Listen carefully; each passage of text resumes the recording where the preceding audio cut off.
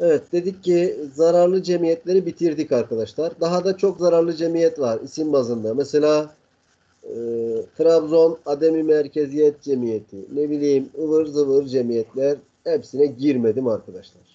Geldim faydalı, yararlı milli mücadeleye dost cemiyetlere. E, bu cemiyetler içerisinde müdafaa, muhafaza, hukuk gibi kavramlar geçer daha çok. E, vatan millet duygusuyla kurulmuşlardır. Hemen hemen hepsinin kendi bölgelerine ait bir gazeteleri vardır. Çoğu %90'a yakını bölgesel kurtuluşu amaçlarlar. Yani herhangi bir devlet kurma düşüncesi ya da ulusal düşüncede değil. Bir sürüsü. Hemen %100'ü diyemiyoruz bundan. Artı Mustafa Kemal e, kuruluşunda çok etkili olmamış bu cemiyetlerin. Ama birleştirilmesinde etkili olacak. Sivas Kongresi'nde birleşecekler. Onu en son not olarak yazdıracağız. Şimdi geldik nelere? Faydalı cemiyetlere. Bunlardan bir tanesi Trakya ya da Trakya demeyelim de sizdeki kitapta takip edenler görecektir. Kars İslam Şurası ile başlayalım. Cenubu Garbi Kafkasya Cemiyeti arkadaşlar. Cenubu Garbi yani Kuzey Kafkasya Cemiyeti diyebilirsiniz. Ya da bunların topladığı bir kongre var. Kars İslam Şurası. Bu cemiyet ilk yararlı cemiyettir. İlk yararlı cemiyet arkadaşlar. Ee, çoğu kaynak hatta benim eski kaynaklarım da öyle söyleyelim. Trakya Paşa elini alır ama e, genel olarak ilk bilinen cemiyette e, Kafkas cephesindeki cemiyetimizdir bizim arkadaşlar. İlk yararlı cemiyet Kars İslam Şurası diyelim. Ermenilere karşı toplanmış bir cemiyettir. Az önce ifade etmiştik. Hatırlarsanız burada bir referandum yapılıyor. Osmanlı'ya bağlanma kararı çıkıyordu. İngilizler dağıtıyordu. İşte o cemiyet bu cemiyettir. Bu cemiyetin bir de gazetesi vardır. Daha gazeteleri anlatmadım. İleride anlatacağım haftaya. Bu gazete Sadai Millet diye gazete var. Ermenilere karşı kurulmuş bir gazetedir bu sevgili arkadaşlar. Lütfen buna dikkat ediniz. Sadai Millet gazetesi Ermenilere karşı kurulmuş bir gazetedir diyelim. Dershaneden arıyorlar. Bir saniye. Hemen dönüyorum arkadaşlar size.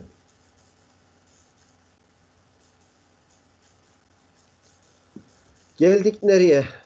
Bir diğer faydalı cemiyete Trakya Paşeli Müdafai Hukuk Cemiyeti ee, Doğu Trakya'yı Rumlara karşı koruyan artı buralarda sükuneti sağlamaya çalışan faydalı bir cemiyettir.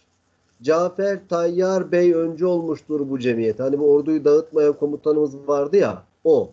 Cafer Tayyar Bey öncüsüdür. Bu cemiyetin diğer cemiyetlerden ayrılan bir yönü var. Lütfen buna dikkat ediniz. Bu cemiyeti e, Derya demiş ki bu gazeteyi Kars İslam Şurası mı çıkarıyor? Aynen öyle. Sadai Millet Gazetesi onların gazetesi Derya Hanım. E, bu cemiyeti yani Trakya Paşaeli Cemiyeti'ni diğer cemiyetlerden ayıran yönü şudur. Bir, Paris Barış Konferansı'na bunlar delege gönderir. İzler Paris Barış Konferansı'nı. Ee, bakarlar ki durum çok da iç açıcı değil. Yani Osmanlı paylaşılıyor, yıkılacak belli. Daha sonra Anadolu'da bir milli mücadele hareketi başlar. E, milli mücadele hareketinde başarılı olmazsa ve Osmanlı Devleti de yıkılırsa biz kendi devletimizi kuralım der. Herhangi bir mandaya falan girmez. Onun için e, der, de, şey devlet kurma düşüncesi olan cemiyetlerden biri budur arkadaşlar. Zaten Kars İslam Şurası bir devlet, hükümet kurdu, yıkıldı. Bir daha da düşünceye giremiyor yıkılınca. Devlet kurma düşüncesi, bağımsız bir devlet kurma düşüncesi olan Trakya Paşaeli Cemiyeti'dir. Edirne ve Lüleburgaz kongrelerini de organize eder bu cemiyet. Artı Paris Barış'a da delege gönderdi dedik. İzmir Reddi İlhak Cemiyeti e, işgalden hemen önce kurulan bir cemiyettir Reddi İlhak Cemiyeti. Daha sonra İzmir Müdafai Hukuk Cemiyeti adını alır. Ya da onunla birleşir daha doğrusu. Müdafai Hukuk Cemiyeti ile birleştikten sonra Batı cephesini oluşturur arkadaşlar. Batı cephesinde Kuvayi Milliye'nin öncüsü olan cemiyet Reddi İlhak ve İzmir Müdafayı Hukuk Cemiyetidir. Bu da önemli bizim için. Bir diğer e, cemiyetimiz Trabzon Müdafayı Muhafazayı Hukuk Cemiyeti. Lütfen dikkat edin bu cemiyete. Aralarında önemli bir cemiyettir. Yani Trabzon deyince akla sadece Pontus gelmesin. Artı bunlar Ermenilere karşı da faaliyette yürütmüşler. Hem Rumlara hem Ermenilere karşı faaliyet yürütürler. Hani Mustafa Kemal'in katıldığı vatan bir bütündür, parçalanamaz gibi kararların alındığı Erzurum Kongresi vardı. O kongreyi de e, öncüdür bu cemiyet arkadaşlar. Geldim bir diğer cemiyete. Değişik sesler duyabilirsiniz arkadaşlar. Valla bizim evde hat çıktı şu an. Anne kız kavga ediyor. Geliyorum diğer cemiyete. Ee, bu da Vilayeti Şarkiye Müdafai Hukuk Cemiyeti. Vilayeti Şarkiye Müdafai Hukuk Cemiyeti. Şark Vilayetleri Cemiyeti. Doğu Anadolu Müdafai Hukuk Cemiyeti diyeceğiz ileride biz buna. Bu cemiyet de Ermenilere karşı kurulmuştur. Ee, Rumlara karşı faaliyetleri de vardır. Artı Erzurum Kongresi'ni de organize ederler. Hani bu büyük bizim kitaplarımızdaki e, Rabia hocam kızı göstermeme imkan yok. Kendimi odaya kilitliyorum. Deli gibi bilgisayara şapır şapır vuruyor. Ne bilgisayar kalıyor ne bir şey. O bu ortamı görmesin. Stüdyo gibi bir şey kurdum ben kendime. E, görmesin diye mümkün mertebe o da kapalı. Eline telefon veremiyoruz. Alınca vermiyor. Bu çok zor. İki buçuk yaşında. İki buçuk yaşında hocam. Bir de yaklaşık bir aylık küçük kardeşi de var. Şu an en çılgın, en deli dönemleri. Sıkıntı. Evet, geldim nereye? Ee, ne cemiyeti? Doğu Anadolu Müdafaa Hukuk Cemiyeti anlatıyordum ben. Ee, buraya dikkat edin. Doğu Anadolu Müdafaa Hukuk Cemiyeti'ne. Ee, Erzurum Kongresi'ni toplar dedik. Eyvallah ama bir de e, Erzurum İl Kongresi var. İl Kongresi. İçerisinde Mustafa Kemal'in olmadığı küçük bir kongre bu. Erzurum İl Kongresi'nde bazı kararlar alınır. Der ki buradan kesinlikle göç edilmeyecek. Yani e, doğudan kesinlikle göç edilmeyecek. Niye? Çünkü buradan göç ettiğimiz zaman azınlıkta olabiliriz. Zaten Ermeniler fazlayız diye rapor sunuyor, hareketlerde bulunuyor. Bunu engellemek amaçlı. Hatta göç edeni vurun denmiş. İki, Ermenilere karşı her türlü örgütleme içerisinde olunacak. Üçüncüsü e, basın, yayın, bilmem ne gibi örgütler. Bir de Doğu'nun durumunu görüşmek için bazı kongreler yapılacak denir. İşte o kongreye Mustafa Kemal Fidan da katılır. Burada çıkarılan gazeteleri bilmek lazım. Al Bayrak gazetesi, e, Hadisat gazetesi aziz canlar, Al Bayrak, Hadisat, bir de Fransızca çıkan Lipais diye bir gazetemiz var. Vatan demek Fransızca. Lipais gazetesi. Bu gazeteler e, Doğu Anadolu Müdafai Hukuk Cemiyeti tarafından çıkarılmış gazetelerdir arkadaşlar. Basın tarihini haftaya işleyeceğim. Albayrak, Hadisat, Lipais gibi üç önemli gazete çıkarır bunlar. Bu gazetelerde lütfen dikkat. Bir diğer cemiyetim Kilikyalılar Cemiyeti. Burada adı sizi yanıltmasın Kilikyalıların adı arkadaşlar. Kilikya eski çağlarda Çukurova'nın adıdır. Çukurova'ya verilen isimdir. Ermenilere ve Fransızlara karşı e, oluşturulmuş yararlı bir cemiyettir. Adı Ermenicedir. Kilikya ismi. Ama siz bunu zararlı gibi düşünmeyin. Hemen hemen her kıymetli hocam bunu vurgu yapar buna. Ee, öğrenci arkadaşlar da muhataplarımız da der ki tamam hocam dikkat edeceğiz. ÖSYM bunu bilmesine rağmen yine sorar. Sınav heyecanıyla zararlı olarak algılar. Bal gibi bunun faydalı olduğunu hepimiz biliyoruz artık ama sınavdaki heyecanınıza dikkat edin. Kilikya ismi sizi yanıltmasın. Çukurova'yı Ermenilere, Fransızlara karşı savunan önemli bir cemiyettir aziz canlar. Ee, peki eski çağlarda Çukurova'ya Kilikya denir dedik. Şöyle bir soru sorsam. İlk çağlarda arkadaşlar Osmanlı'nın kurulduğu coğrafya ne olarak anılmaktaydı? Osmanlı'nın kurulduğu coğrafya ilk çağlarda hangi isimle anılır?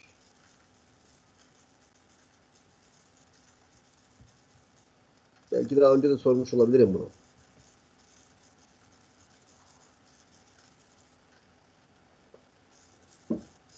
Mezopotamya dedi biri, biri Bitinya dedi. Mezopotamya değil. Bitinya cevabını veren. Böyle isminizi yazsanız da isminizle muhatap olsak, hitap edebilsek sevgili canlar. Bitinya'dır.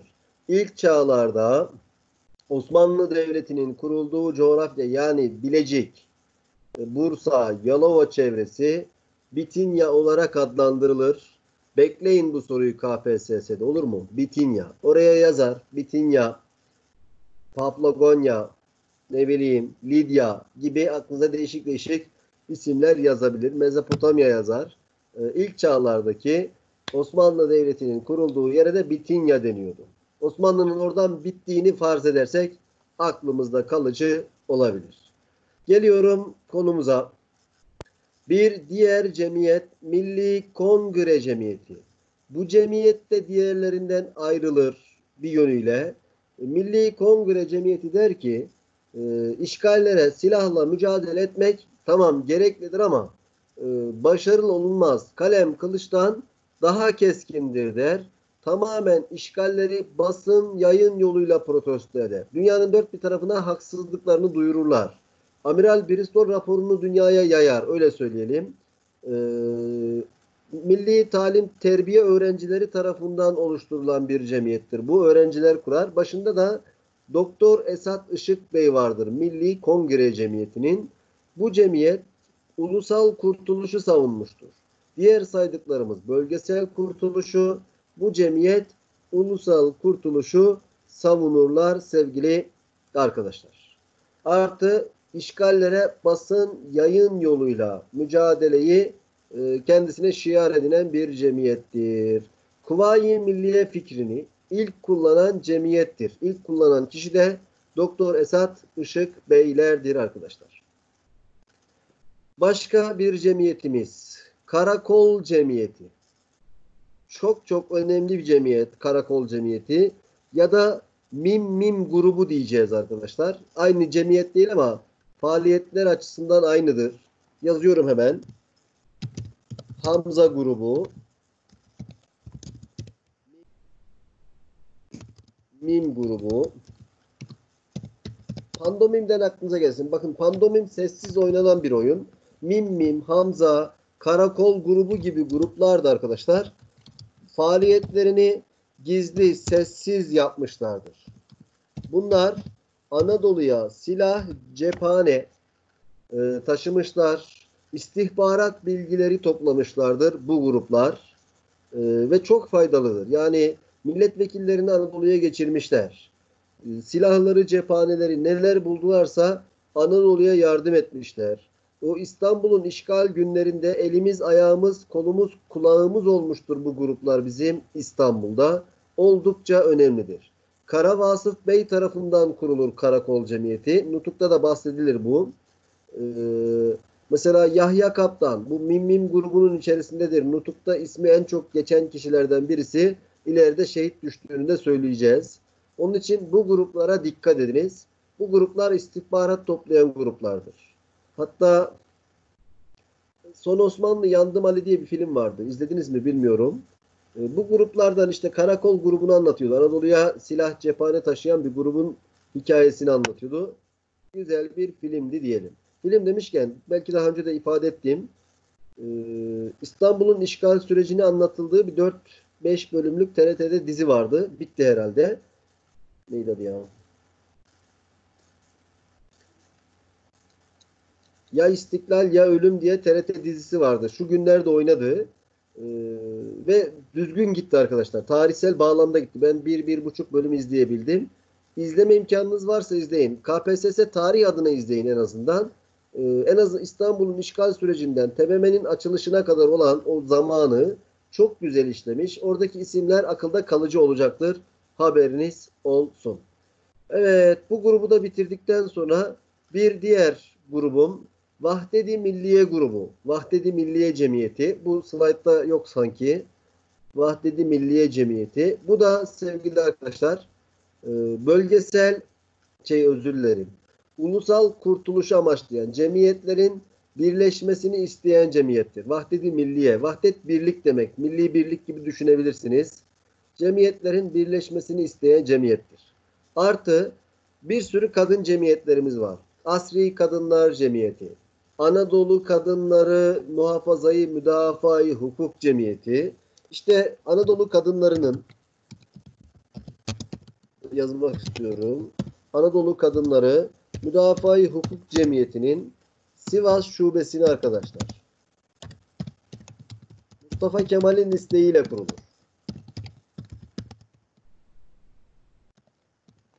Mustafa Kemal'in isteğiyle Melek Hanım kurmuştur. Melek Hanım da valinin eşi, Sivas valisinin eşidir.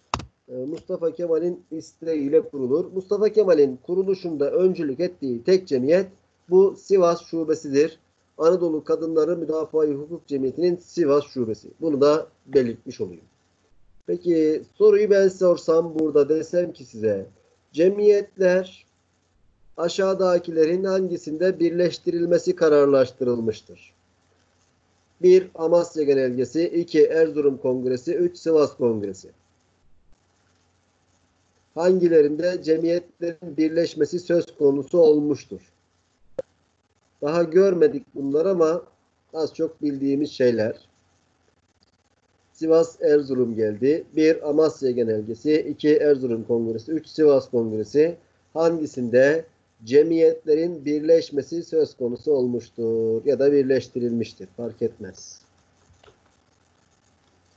Var mı e, bir Derya hocamla okul öncesi öğretmenimiz var sadece arada herhalde. Erzurum ve Sivas. Aynen öyle arkadaşlar. Erzurum çok unutulur ama Erzurum'da doğudaki cemiyetler birleşir. Bunu ileride anlatacağım Erzurum Kongresi'nde. Erzurum'da doğudaki cemiyetler Doğu Anadolu Müdafaa-i Hukuk Cemiyeti adıyla birleşecektir. Sivas'ta da bütün ulusal cemiyetler birleşecek. Doğusu batısı yok. Erzurum'da Doğu Anadolu Müdafaa-i Hukuk Cemiyeti adıyla doğudaki cemiyetler, Sivas Kongresi'nde de bütün cemiyetler birleşecektir diyelim. Evet Derya Hocam senin branş ve memleket neresi? Doğru cevabından dolayı seni biz atayalım. Beslenme ve diyetik. Çok ihtiyacımız var şu evde kaldığımız günlerde. Seni de Tavşanlı Devlet Hastane Devlet Hastaneleri çok yoğun oluyor. Ya. Oraya atamayalım siz. Tavşanlı vardır bir aile sağlık ocağı. Ee, aile sağlık merkezine atayalım seni. Tamam. Hayırlı olsun diyelim. Belki tavşanlı istemiyorsun ama Urfa mısın sen? Urfa'ya mı atayım diyorsun. Memleket nere? Şanlıurfa. Hayır. Anlayamadım ki.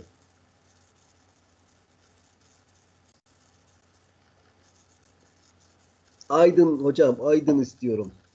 Aydın'dakilerin beslenmeye, diyete ihtiyacı yok ki. Aydın'ın dağlarından, bal ovalarından yağ akan şehir derler. İnsanların uzun yaşadığı şehir Nazilli'ye atan hadi o zaman.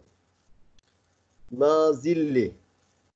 O zaman seni Nazilli Aile Sağlığı Merkezi'ne atadık. Hayırlı uğurlu olsun. Tamam. Nazilli'yi çok severim. Kendimi de atacağım bugün. Kendimi atayamasam şu camdan atacağım. O daha makbul, daha olanak gibi duruyor. Evet, cemiyetleri bitirdik sevgili arkadaşlar. Lütfen cemiyetlerin birleşmesinde Sivas demeyin, Erzurum'da bir birleşme çabaları var. En azından doğudakilerin. Buradan bize soru gelir. Haberiniz olsun sevgili canlar. Evet, var mı buraya kadar olan yerde sorunuz? Yoksa milli mücadelede Bismillah diyeceğiz artık. Sorularınız varsa alalım. Yoksa milli mücadeleye geçeceğim arkadaşlar. Geç diyorsunuz. Sessiz kaldığınıza göre. Milli mücadeleye hazırlık dönemi.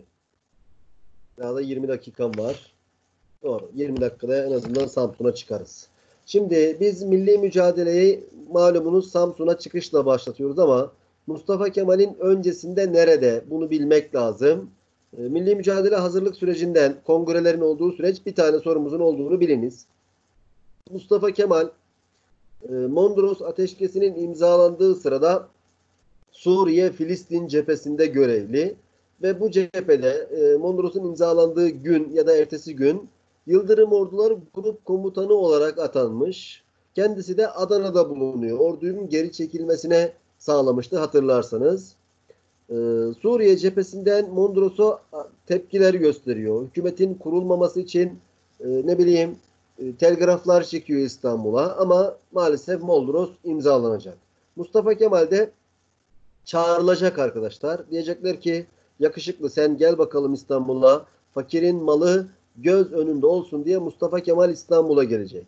Gazi Paşa'nın İstanbul'a geldiği tarih 13 Kasım 1918'dir. Aynı gün 13 Kasım 1918'de İtilaf devletlerinin e, gemileri de Boğaz'da limanlamışlardır arkadaşlar. Boğaz'a demir atmışlar limana. E, bu hoş bir durum değil ister istemez. Yanında yaveri Cevat Abbas Bey var. Cevat Abbas Bey, e, Cevat Abbas Gürer diyeceğiz ileride. Cevat Abbas Bey arkadaşlar başlayacak ağlamaya itilaf devletlerinin donanmasını görünce diyecek ki paşam biz bunun için mi Çanakkale'de harp ettik? Bunun için mi 15'lere Çanakkale'de kıyıldı? 57. alay bunun için mi yok oldu deyince Mustafa Kemal de Cevat Abbas Bey'e e, Cevat ne ağlayıp duruyorsun? Geldikleri gibi giderler diyecek arkadaşlar. O muhteşem sözünü burada söylemiştir Mustafa Kemal. Ki isim bazında kime söylediği sorulursa o da yaveri Cevat Abbas Bey'dir. Geldikleri gibi giderler der. O zaman bu sözü irdeleyecek olursak kendisinden emin bir Mustafa Kemal vardır. Milli mücadelenin başlayacağını, milli mücadelenin başarıya ulaşacağını ümit eden bir Mustafa Kemal vardır karşımızda. İstanbul'a gelir.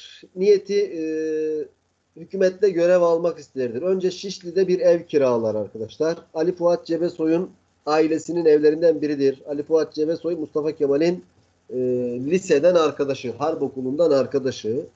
E, burada bir ev kiralar ve hükümette görev almak ister. Çünkü hükümetin gidişatı gidişat değil. En azından Harbiye Nazırı olursam der. Burada Savaş Bakanı e, bazı gidişata dur diyebilirim endişesi düşüncesiyle hükümette görev almak ister ama kimse Mustafa Kemal'i yanında görmek istemez. Çünkü Mustafa Kemal fikirleri olarak çok uymuyor Ahmet İzzet Paşa'ya filan. Burada bir gazete çıkarır arkadaşlar. Daha önce soruldu bu gazete. Ali Fethi Okyar'la beraber çıkarır. Arkadaşı Ali Fethi Bey'le Minber gazetesini çıkarır Mustafa Kemal. Bu gazetedeki faaliyetleriyle Ahmet İzzet Paşa'yı düşürür, hükümetten düşürür. Öyle söyleyelim. Artı yeni kurulan hükümetlere de çok sık eleştirir. Hükümete gelenler der ki ya biz bu adamı buraya çağırmakla hata ettik. İngilizler Mustafa Kemal'i buraya çağırmakla biz de hata ettik der. Mustafa Kemal de İstanbul'a gelmekle ben de hata ettim der. Çünkü hiç kimse ne onlar Mustafa Kemal'den memnun ne de biz buradaki durumumuzdan memnunuz. Mustafa Kemal'in bu Şişli'deki evi milli mücadelenin ilk fikri aşamasının başladığı yerlerden biridir. Her gelen uğrar buraya. Hatta öncesinde işte Kazım Karabekir, Ali Fuat Cebesoy ve Fevzi Çakmak paşalar Padişah Vahdettin'le dahi görüşürler. Yani bunun bir an önce başlaması lazım. Bu İstanbul'daki donanmanın kabul edilemeyez olacağını e, beyan ederler padişaha. Bir türlü netice alamazlar. Ali Fuat Cebesoy der ki yanındakilerine ya der Anafartalar kahramanı Mustafa Kemal'in bizim evlerden bir tanesini kiraladığınızı duydum. E, isterseniz tanışın. Benim liseden harp okulundan arkadaşımdır. Kazım Karabekir şeyden tanır zaten Çanakkale'den. Mustafa Kemal'in kapısını çalarlar Şişli'deki evi. Burada e, görüşmelere başlanır. Mustafa Kemal der ki ya bizim derhal nereye gitmemiz lazım? Anadolu'ya geçmemiz lazım. Ama Anadolu'ya geçerken sıradan kişiler olarak değil, rütbeli, eli destekli komutanlar, paşalar olarak geçmemiz lazım derler. Kazım Karabekir hemen ben doğudaki ordularımı dağıtmaya gidiyorum diyerek dağılır. O çıkar yola. Ali Fuat Cebesoy torpillidir bu. Babadan torpilli. O da e, 20. kolordunun başına atanır. Mustafa Kemal İstanbul'da yalnız kalır. Yalnız derken şey olarak nedir? Hmm, rütbeli olarak yalnız kalır öyle söyleyelim. Mustafa Kemal'e de 9. Ordu Müfettişliği teklif edilecektir. Nedir bu 9. Ordu Müfettişliği? Bölgede karışıklık çıkmış arkadaşlar. Karadeniz bölgesinde karışıklık çıkar. Bu karışıklıkları önlemek gerekir. Yani Mondros'a zemin hazırlamamak için Türk-Rum çatışmasını önlemek, bölgedeki silahları e, toplamak ve milli kuruluşları dağıtmak, artı Mondros'un maddelerini hayata geçirmek amacıyla buraya bir komutan göndermek isterler. Hükümet Mustafa Kemal'den rahatsız olduğu için İttihatçılar şeyden nedir? İtilaf devletleri de Mustafa Kemal'den rahatsız. Mustafa Kemal gitsin denir. Hatta Padişah Vahdettin'e de Mustafa Kemal ismini öneren kişi Fevzi Çakmak'tır. Rahatsızlığından dolayı değil, farklı niyetlerde olduklarından dolayı. Mustafa Kemal Padişah Vahdettin'le öncesinde görüşür. Zaten yaveridir de Vahdettin'in tanır birbirini. Almanya ile beraber yani Almanya'ya ziyaret etmişler beraber. Mustafa Kemal'e şöyle dediği bilinir. Hani şuraya girmeyeceğim. Padişah Vahdettin mi gönderdi, göndermedi mi? İlerideki söylemlerinden bunu siz kendiniz anlayacaksınız zaten. Ee, Vahdettin Mustafa Kemal'e der ki Paşa der, bugüne kadar devlete çok büyük hizmetlerde bulundun. Allah senden razı olsun. Ama asıl hizmetin şu an itibaren başlar der. Her ne kadar görevin bu olsa da diye Mustafa Kemal'e resmi görev tevdi edilir. Sonrasında Anadolu'da bir hareketin başlaması için en azından İstanbul'un kurtulması için öyle söyleyelim Mustafa Kemal gönderilir. Mustafa Kemal'e iletilir bu görev. Siz bu görevi kabul eder misiniz diye. Mustafa Kemal tabiri caizse oynamaya başlar. Niye? Çok güzel bir görev. Yetkileri çok. Körün istediği bir göz, Allah verdi iki göz cinsinden. Mustafa Kemal bu işi benden başka kimse yapamaz. Oradaki orduları da ben dağıtırım. Türk-Rum çatışmasını da ben önderim diyerek göreve zaten talim olur. Bunun üzerine Mustafa Kemal'e bütün sivil ve askeri yetkilere emretme e, birliklere emretme yetkisi verilir. Müfettişi şöyle düşünebiliriz. Atıyorum bir Maliye Bakanı müfettişi. Bakan, Maliye Bakanlığını bile denetleyebilir. Müfettiş sıfatı zaten onu gerektiriyor. 9. Ordu müfettişi olarak atanır. Her ne kadar bu olay Nutuk'ta 3. Ordu diye anlatılsa da Mustafa Kemal'in ilk çıktığı dönemde 9. Ordudur burası. Daha sonra 3. Ordu diye karşımıza çıkar. Mustafa Kemal beraberindeki heyetle Samsun'a çıkar ama çıkmadan önce padişahın huzuruna bir kez daha çıkar. Padişahım der bilirim 9. ordunun sınırları e, Diyarbakır, Bitlis, Elazığ gibi yerlerden oluşuyor. Erzurum gibi. Sizden de ricam Ankara'yı, Konya'yı ve Kastamonu'yu da 9. ordunun içerisine alabilir misiniz? Ankara'da Ali Fuat Cebesoy var. Konya'da e, bize ılımlı bir vali var. Muhittin. Konya valisi Muhittin. Muhittin miydi? Şey Mersinli Cemal var özür dilerim. Bir de Kastamonu'yu da 9. ordunun içerisine dahil ister ve padişah beratıyla, fermanıyla bu 9. ordunun sınırları biraz genişler. Peki 9. ordu müfettişliğinin merkezi neresidir arkadaşlar?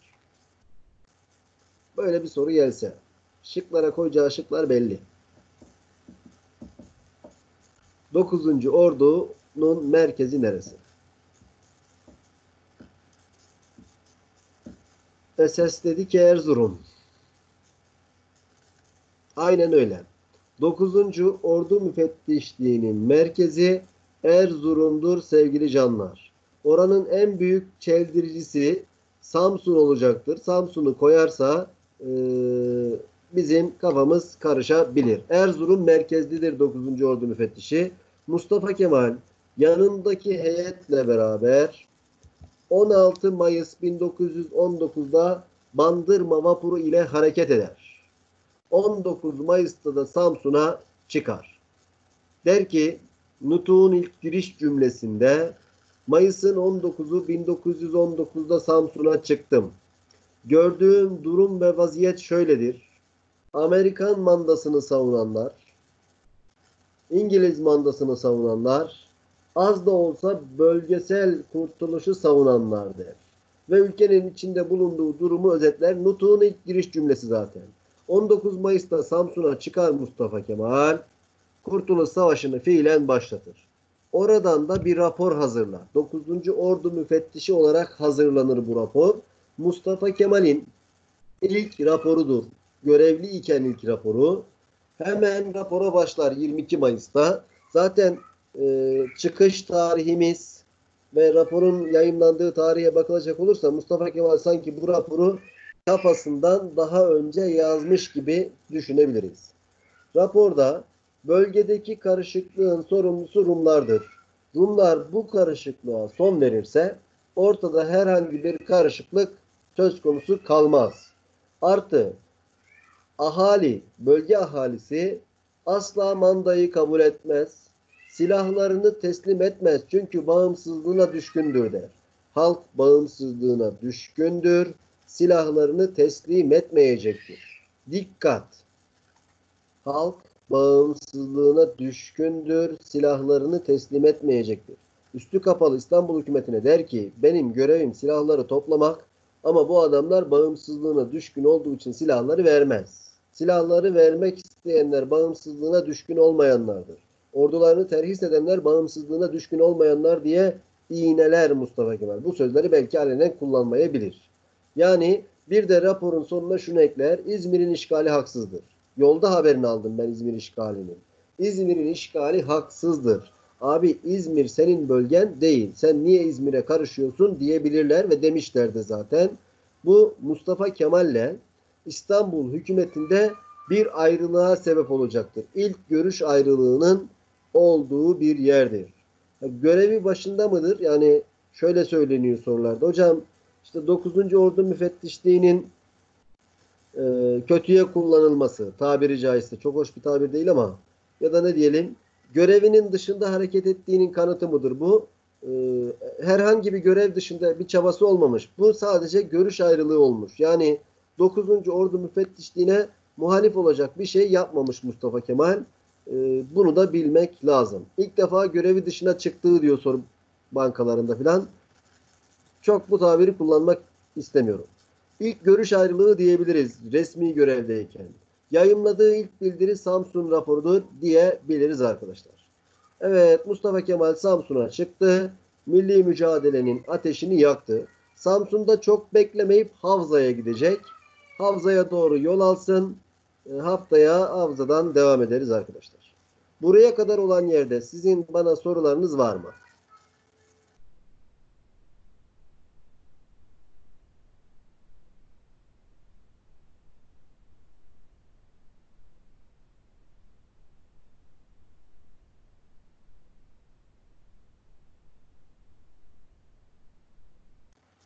Sorusu olan var mı? Bu haftalık bu kadar diyeceğiz arkadaşlar. Ben teşekkür ederim. Sabırla dinlediniz. Yüreğinize sağlık. Sorularınız varsa hocam dersin başını kaçırdın da bu konuyu başka ne zaman anlatacaksınız? Saat 2'de Hülya. Tabi orada kaldıysam bilemiyorum. Ya da saat akşam 6'da öyle söyleyelim. 2'de 6'da anlatabilirim.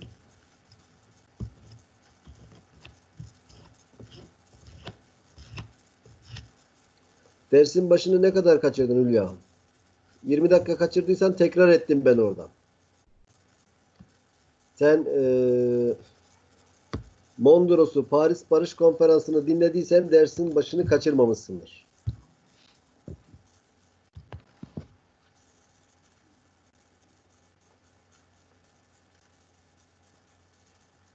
Sorularınız yoksa o zaman müsaade isteyeyim. Ben sağlıcakla kalınız arkadaşlar. Görüşmek dileğiyle. Allah'a emanet olun.